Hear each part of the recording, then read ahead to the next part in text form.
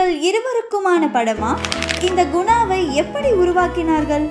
அதன் கருவிற்கு சொந்தக்காரர் யாராக இருக்க முடியும்? என்று பல்வேறு கேள்விகள் என் மனதை துளைத்து எடுக்கின்றன. ஒரு கதையை இப்படியெல்லாம் யோசிக்க முடியுமா? என்று ஒரு பக்கம் யோசித்தாலும் ஒரு படத்திற்கு இந்த மாதிரி இசை வடிவம் கொடுக்க முடியுமா? என்று மறுபக்கம் நம்மை பிரமிக்க வைக்கின்றது. இந்த இசை யாரால் உருவானது? குணாவின் கருவிற்கு சொந்தக்காரர் தான் இசைக்கும் சொந்தக்காரராக கண்டிப்பாக இருக்க முடியும். ஒரு படத்தை இவ்வளவு ராவாக தர முடியும் என்றால் அதற்கான இசையையும் இவர்தான் ராவாக பெற்றிருக்க முடியும்.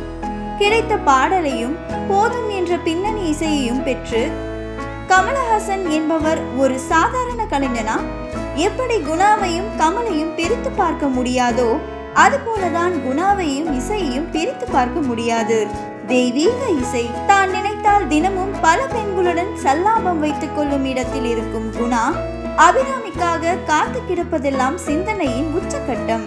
அதுவும் அந்த பெண் யாரென்றே தெரியாமல் மருத்துவமனையில் இருக்கும் ஒருவர் அபிராமி வருவாள் பௌர்ணமி என்று தாலிக்கட்டு என்று கொடுக்கும் தாலியை வைத்துக்கொண்டு தனது காதலிக்காக காத்திருப்பது திரைக்கதையின் பைத்தியக்காரத்தனம் என்று சொல்வதா? அல்லது நம்மை இன்று நாள் வரை பைத்தியம் பிடிக்க வைத்த திரைக்கதை என்று சொல்வதா? குணா என்றால் அழகு. அதுவும் ஒவ்வொரு முறையும் காதலியை பார்த்து ரசிக்கும் ஒவ்வொரு கணமும் அந்த முகத்திலிருந்து வரும் உணர்ச்சிகளின் வெளிப்பாடு அப்படியே அந்த கண்ணு வாய் அந்த உதடு அனைத்தையும் கடிச்சு திணிடணும் போல இருக்கும். சரி இவர்தான் உலக நாயகன் நடித்து விட்டார் என்று பார்த்தால் கதாநாயகி இரண்டு மூன்று முறை குணாவை பார்த்து லுக் விடும் அழகு.